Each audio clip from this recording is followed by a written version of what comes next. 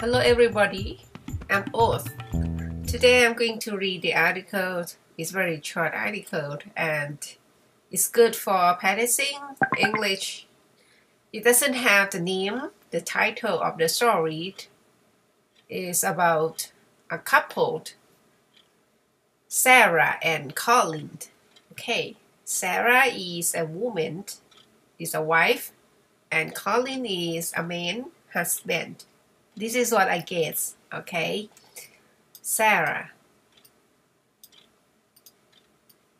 Sarah is a woman and Colin is a man. So, Sarah and Colin live in an old house in an English village. Sarah is a secretary. She drives five miles to work every day.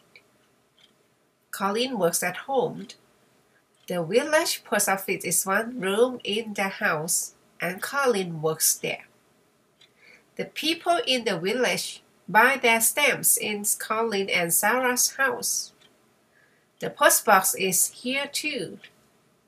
It's a lovely house. The living room is yellow and brown. There are two big blue sofas. This is an antique table and chairs there is a big house of picture. Oh, sorry, there is a pic, a big picture of Sarah's and her daughter.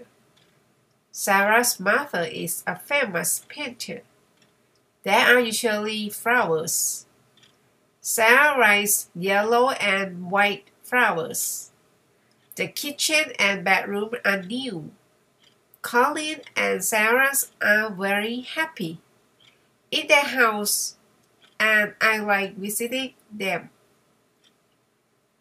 Okay, thank you, and that's it.